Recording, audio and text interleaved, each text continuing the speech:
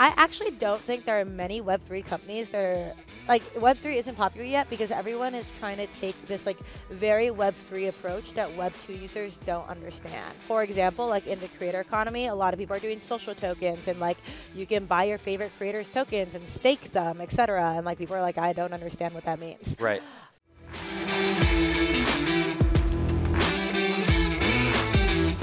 Coming out and uh, and being with us today. Really appreciate that. Yeah, thanks for having me. You've had a pretty cool entrepreneurial journey in uh, in not a lot of time. It's it's it's pretty impressive.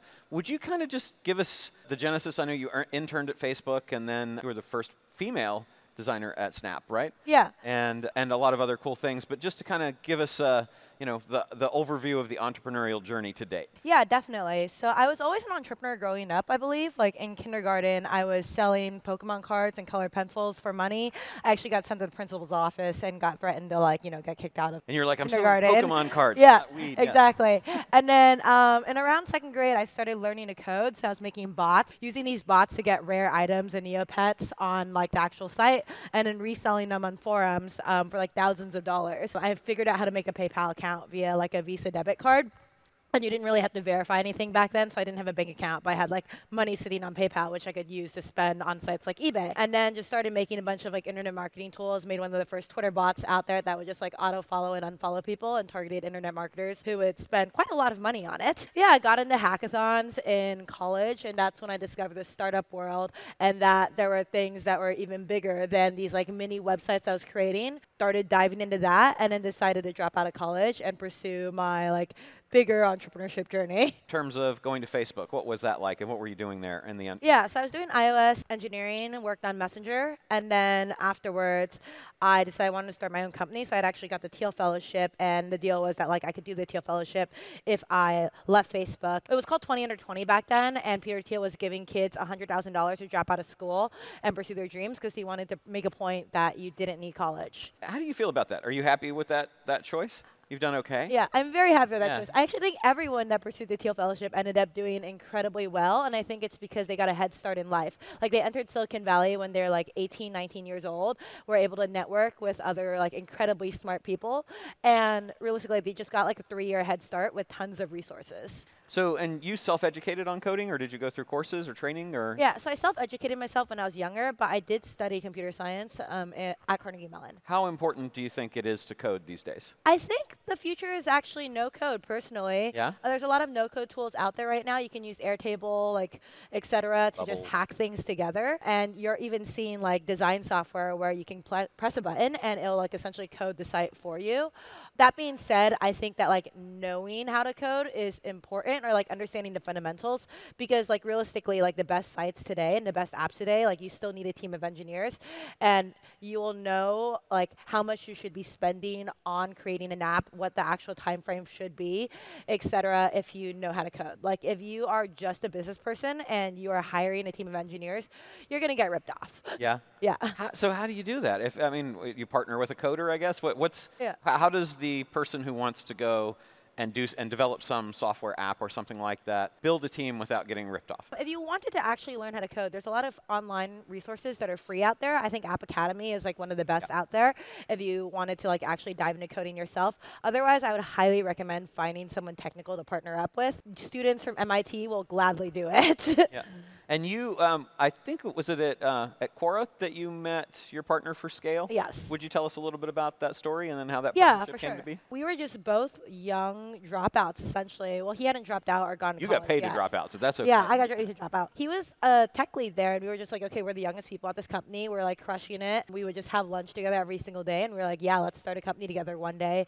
And then I was at Snap, and uh, I was just getting bored working on projects on the side every weekend. So I hit him up, and I'm like, okay, now I want to do a company. Y Combinator applications are coming up. We should just do it. So we were just coding random things like during like winter break or something and then applied to YC and we applied with like several different ideas but which neither of we didn't work on any of the ideas we actually applied with but they ended up accepting us because of our like history So it went. So Scale uh, AI went through Y Combinator. Yes. What, do you, what did you think of that? Well, actually, first, would you tell everybody, just in case they don't know, what is Y Combinator? Yeah. And then, why did you choose that route, and where, would you do it again? Yeah, so Y Combinator is probably the best accelerator program in the world. Like Twitch came out of it, Dropbox came out of it, et cetera. Like they created several unicorns. I enjoyed the experience. I think that like if you're a B2B company, it gives you an unfair advantage because it's just like you can sell to all the other YC companies. Right. And it's just like ongoing infinite network of companies that have funding that can spend on your product. So if you are a B2B company that has a product that's useful for any company out there, like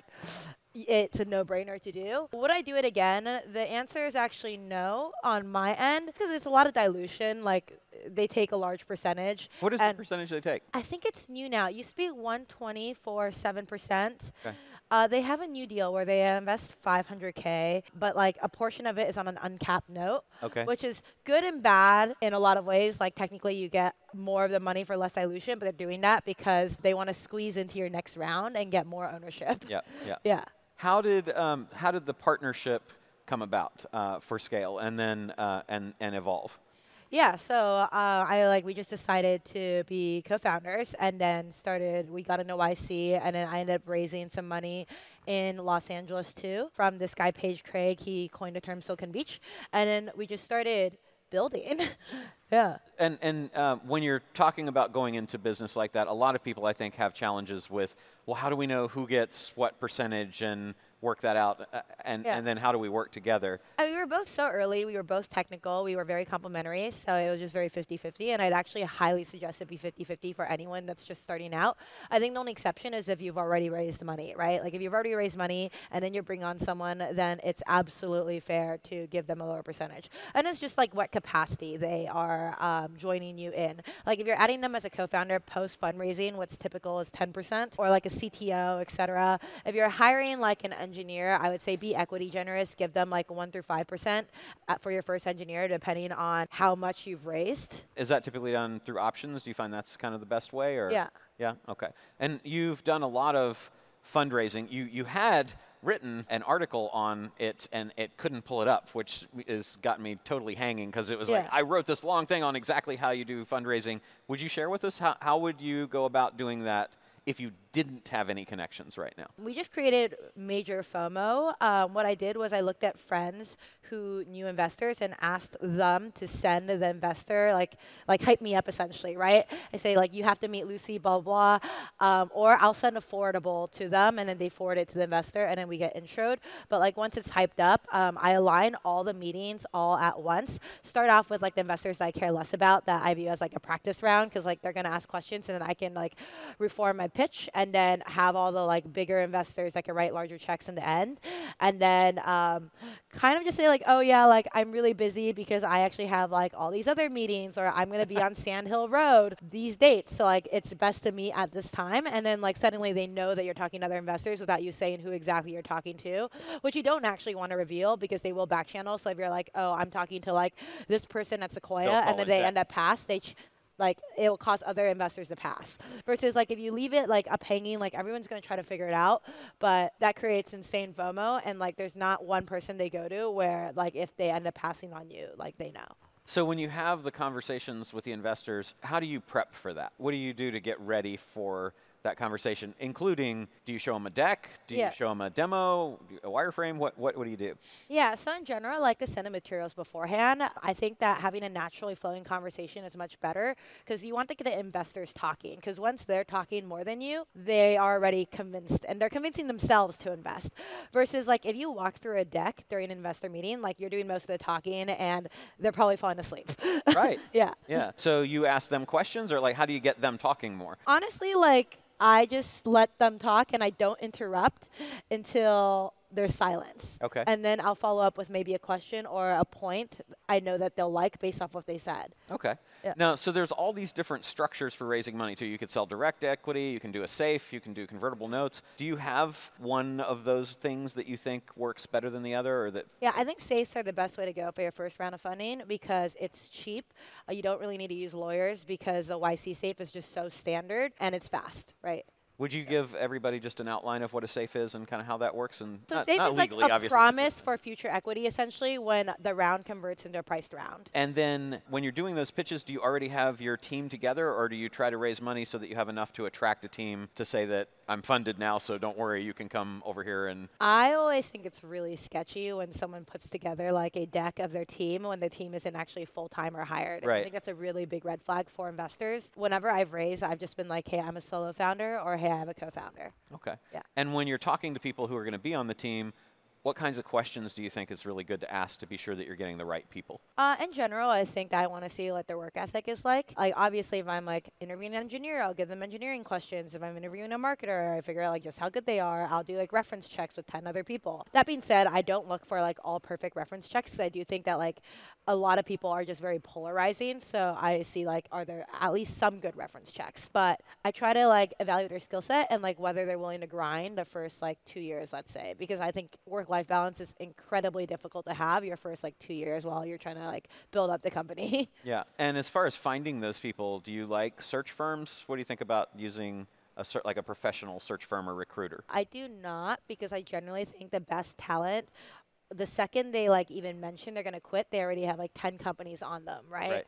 so they're not going to have to even need to use a search firm the best people you're going to get are like you convince them to drop out of college you like convince them to quit their job where they're already excelling at How do you find those people if you're sitting out here and don't know how to find those people?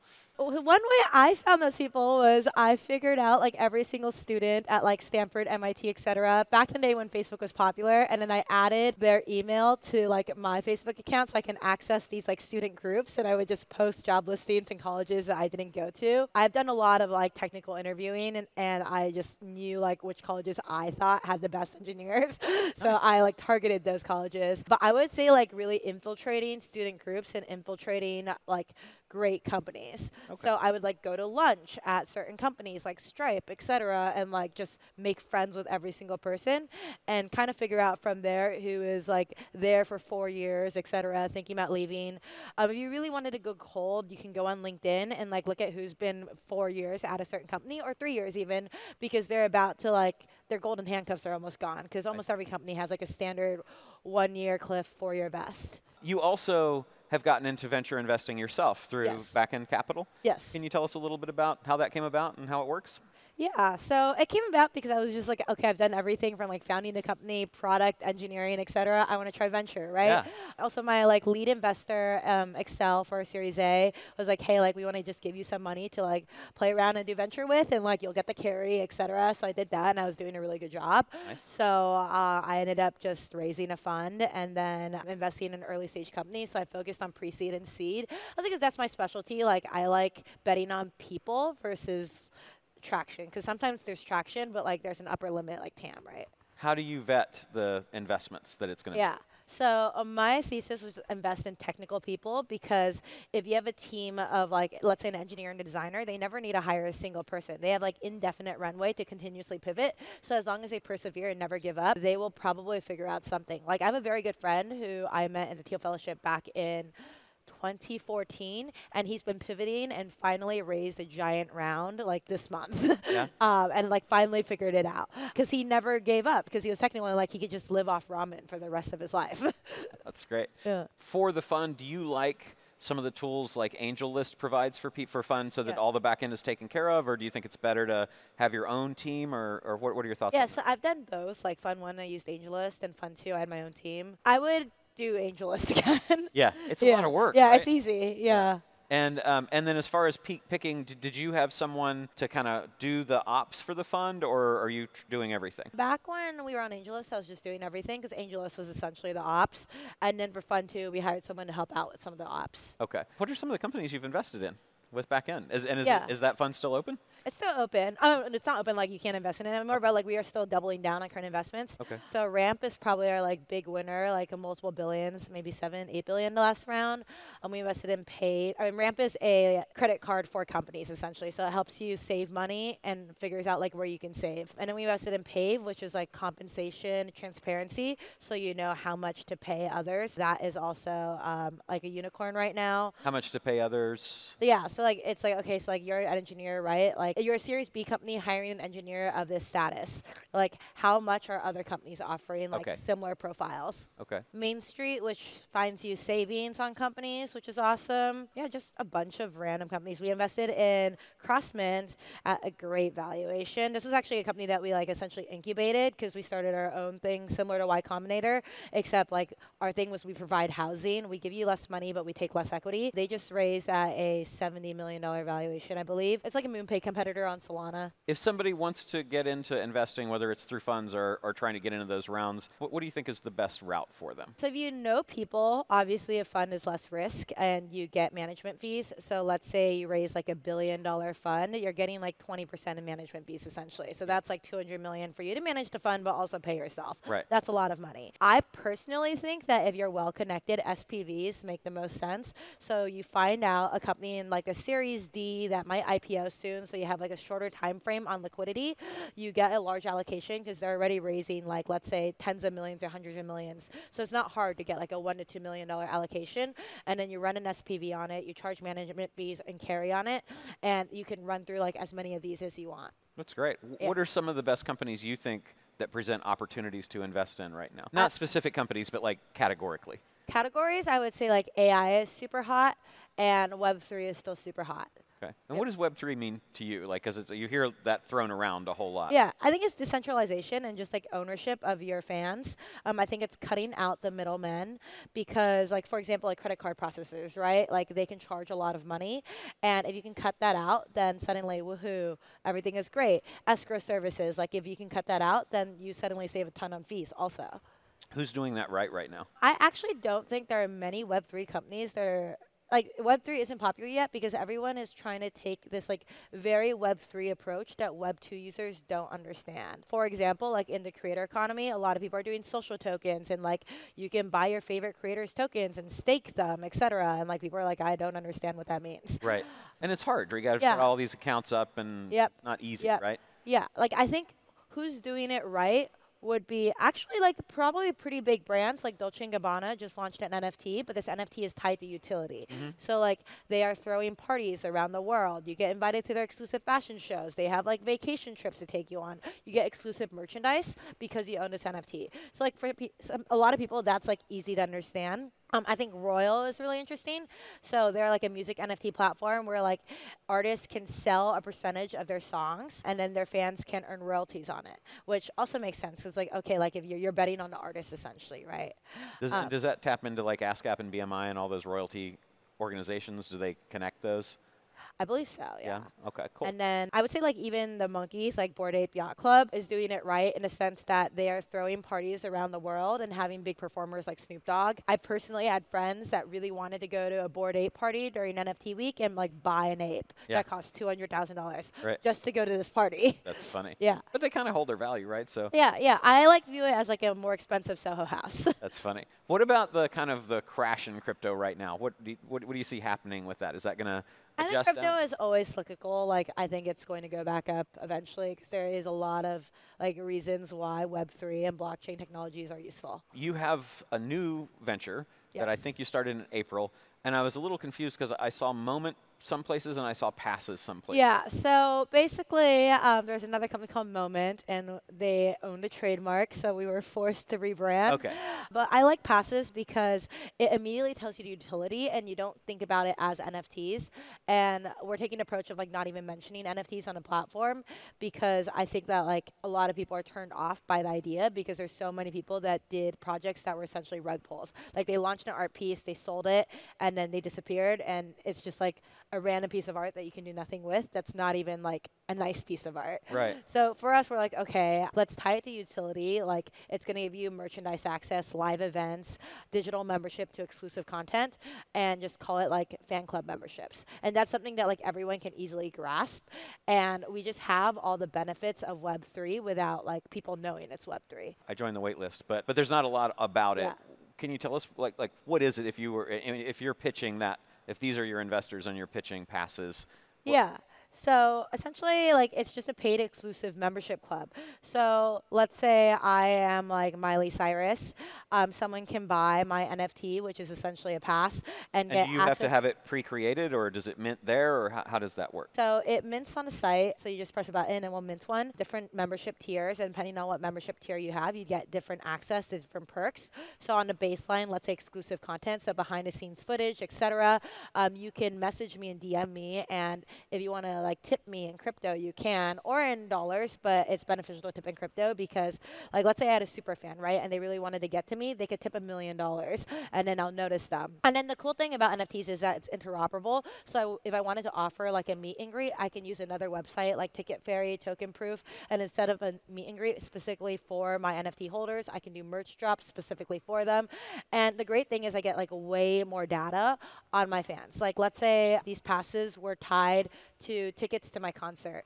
Traditionally, if a person were buying a ticket to every single one of my concert, I might think they're a super fan, but I wouldn't actually know if they attended or not because they could be reselling the tickets and scalping. Mm. Now, if they're like selling the passes, I know exactly who they're selling it to, and I know they're a ticket scalper. But on top of that, like normally Ticketmaster would take the fees, right? I could set a 10% royalty fee on my passes, so every time it transferred, now it's not Ticketmaster taking the fees, I'm getting the money back. So that's a lot more money for me. What's also cool is I can see like every other thing that's happening in their wallet. So I can see like, okay, they have a bunch of Illenium NFTs. So like for whatever reason, my fans are also Illenium fans. So I can do a collab with Illenium. Ah. Or wow, they're spending a lot of money on this like one eyelash brand. I should create my own eyelash brand. Makes everything super transparent and this is data that like they just didn't have before. Like if you were designing, if you were consulting with someone about designing the ideal NFT, what would you advise them to do in terms of utility and smart contracts and all that kind of stuff? In terms of utility, I think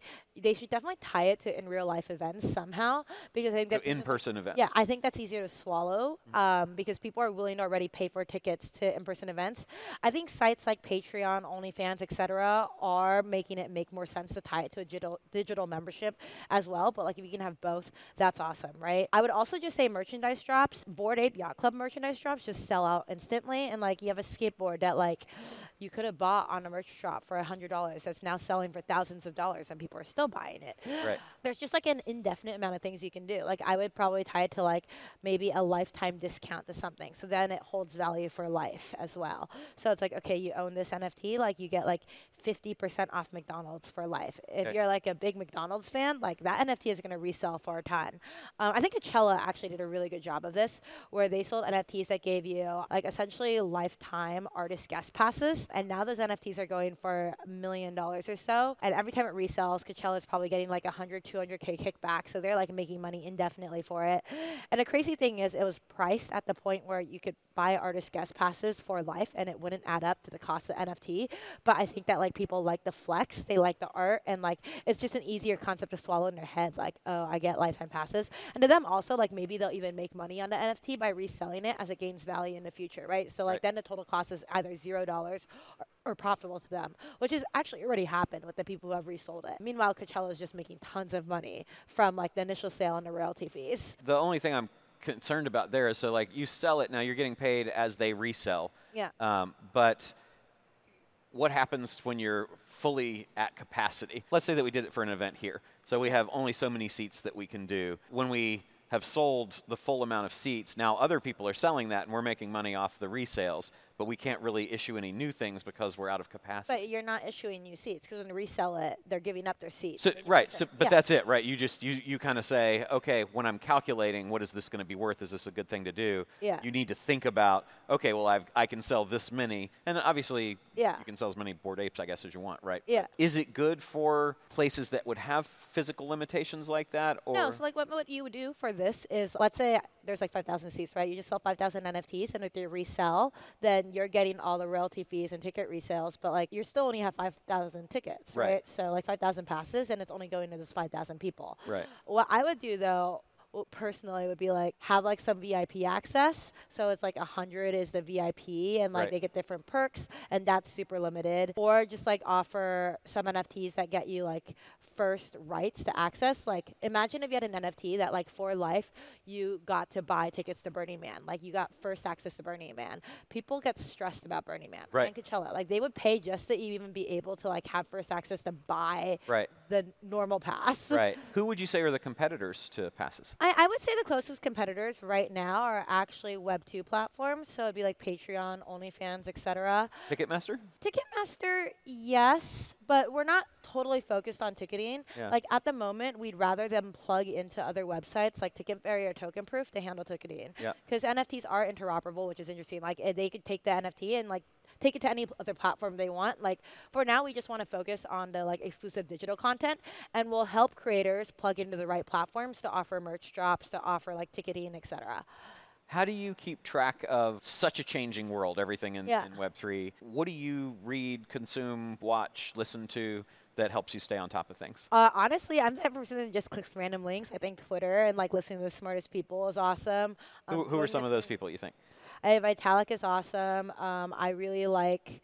I have Multicoin, my lead investors. They're like on top of things. You have A16Z, who I think is like one of the best crypto funds out there. So like Chris Dixon, Jane Lippincott. On the consumer side, like thinking about consumer, Alfred Lin is like a legend.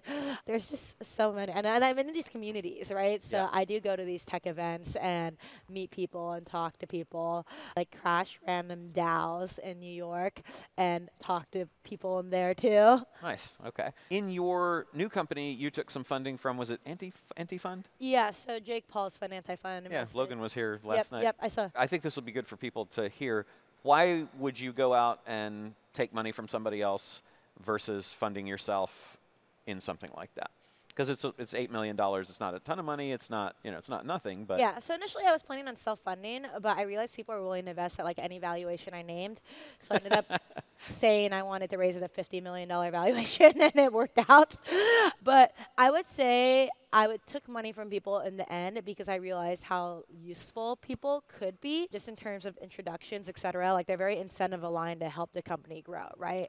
Versus if I funded it myself, like yes, I would own 100%, but I wouldn't get the outside help. And I've gotten a lot of like helpful intros from my investors. Yeah. I guess just uh, as a last question, is there anything that you think that you could share with us here? We're, we're a bunch of intermediate to advanced marketers looking at Web3 versus other kinds of marketing, and you've built tools for us. I bet some of us have bought your, uh, your Twitter follow, unfollow, and things like that back in the day. But is there anything that you would share as far as just kind of looking forward into the future that we might be thinking about in terms of resources, in terms of direction, in terms of focus, anything like that? Yeah, well, I think for marketers, especially, like what's really interesting is you can hyper target people. So let's say you want to target like all music fans for whatever reason, you can literally Google or essentially Google like who owns like these music NFTs, and then you can airdrop something into their wallets. And I check my wallet all the time for like Yeah? random things that get airdropped in,